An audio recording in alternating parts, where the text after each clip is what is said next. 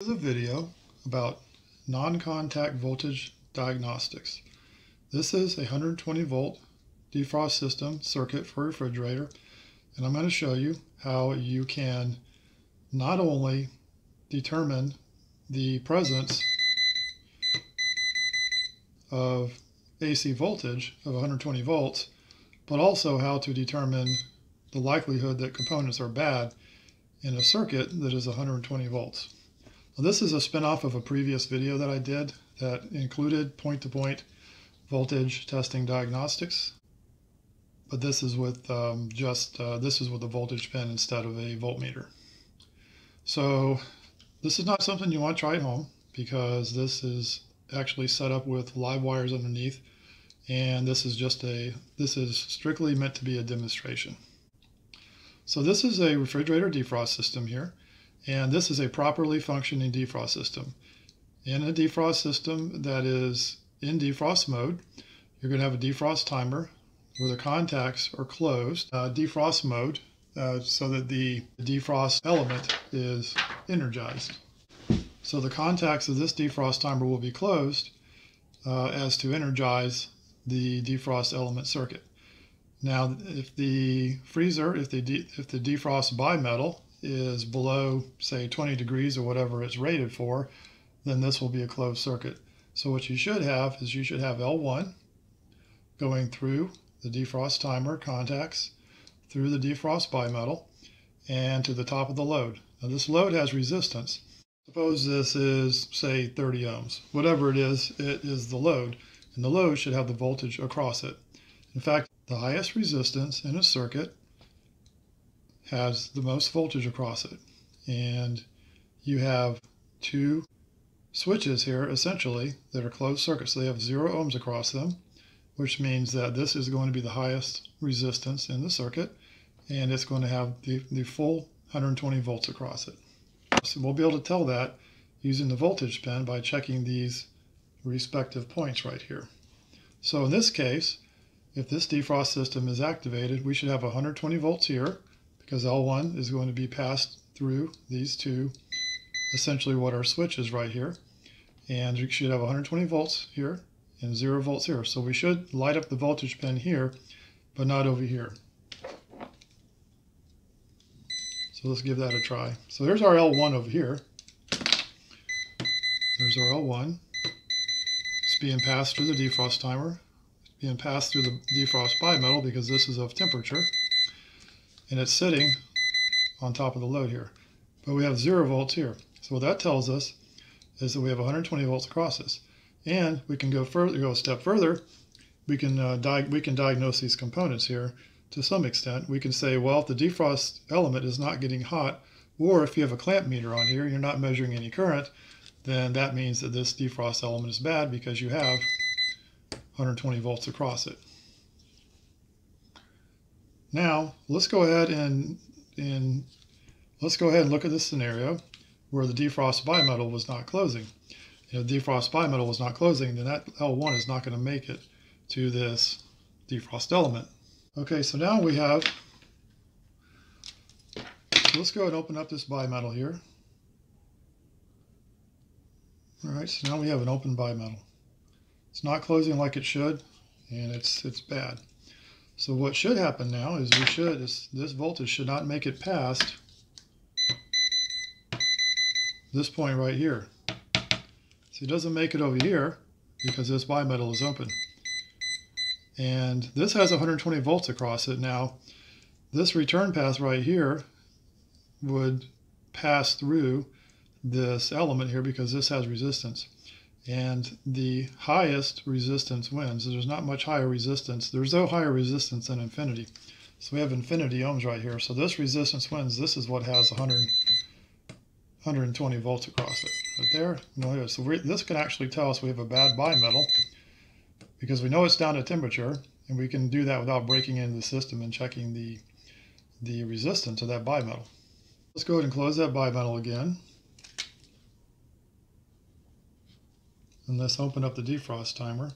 So now in this case, the defrost timer is not closed and it's not going to allow the 120 volts to make it even to the bimetal.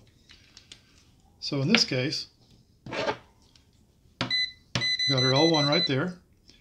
And but it's not making it through the it's not making it through the defrost timer.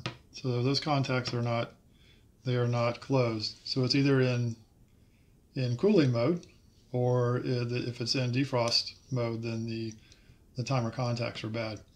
Now this can't really tell us whether the bimetal is bad because we don't have any voltage over here to be able to determine that. However, once we restore the voltage here by either replacing the timer or advancing the advancing the timer, then we would be able to go back and check that bimetal there. So this is telling us that we have an open defrost timer. Now this time we're looking at a gas dryer with no heat. So this is a normal operating state here. Your relay or timer that activates the heat circuit is closed. Your stats and your thermal fuse are all good and they're closed. And this is your gas circuit, which is going to consist of your igniter and your coils and whatnot. And this is going to have resistance initially because of the igniter and the coils are also going to present well it's actually impedance but for our purposes here let's just call it resistance it doesn't really it's not really relevant to this discussion here. So what we should have is 120 volts right here, and this centrifugal switch should close and pass neutral to this point right here. So we should be getting, right now, should be getting 120 volts from here to here. And so we should be getting a reading all the way across here into there. We should be getting no reading there. So this tells us that our gas circuit is getting voltage. And if the gas circuit is not still working, then we know there's something actually wrong with the gas circuit itself. Now what if the relay or timer was open? Let's go ahead and open that up here. And so if, if that was open, well, really the L1 isn't going to make it any further than this right here. So it's not going to make any further. So that's that's that right there. The relay's open. And if the relay is supposed to be closed right now, or the timer contact is supposed to be closed, and this it's in heat mode right now, and this is what you're getting, then you know you need to be looking at that relay or that timer right there. Now, past the relay, you've got a series of thermostats, high limit, you've got your thermal fuse, um, your thermal cutoff. So let's just say they're all right in here. And um, I'm not going to separate them out because this this jig here only has so many parts of this uh, circuit that we can open up. So let's go ahead and close this here. And get our pen to cooperate. We're going to close that. All right, that's a closed circuit. Then we're going to open this up right here. Okay, so that's open. This is closed right there. And we're going to test, get our voltage pen out. So as expected, we got that there. And then the dryer is turned on and it's in heat mode. And now we know that we have 120 volts here. We know the relay is working because it's passing that through. Go over to here. But if we go over here, we have no voltage. So that means we got 120 volts across this right there. And this is the highest resistance in the circuit again. So that wins, that gets all the voltage across it. So now you got an open thermal fuse or some or a high limit or a thermal cutoff or something like that, it's open right there. Now let's look at this scenario where the load is actually bad in the gas circuit. So we'll go ahead and we're going to close this circuit there, close that switch, and say we got a break in the circuit here. I'm just going to show it as being a break in the resistor. So something's going on with your, with your gas circuit. Your, maybe your igniter is open or your flame sensor is open. So let's go ahead and read that. So we got that, we got our 120 volts there, got it there, that's where it should go. Got it there, but we don't have it here. So this means that either the centrifugal switch is open or the, the gas, there's something wrong with the gas because the gas is, is not igniting right now. Or say the igniter is not glowing. So we know something's going on with the gas circuit right there. We don't really know the centrifugal switch, but centrifugal switches don't go bad that often. So we can probably surmise from this that um, there's something wrong with the gas circuit in this case. All right, let's go ahead and fix that load right there. So let's go ahead and open this centrifugal switch. I think you guys are getting the idea by now what we're doing here. So, so open up the centrifugal switch and go ahead and test this. So the dryer is running right now, but the gas circuit's not working. So we go through here. Now by this, we can tell that that 120 volts is making it through. We have 120 volts across the centrifugal switch. And it's not possible to have 120 volts across a centrifugal switch that is closed because that would be zero ohms. So this has become the highest resistance in the circuit and this is infinity, which means it's open. So if that motor's running, that needs to be closed. So we've got a bad centrifugal switch right there.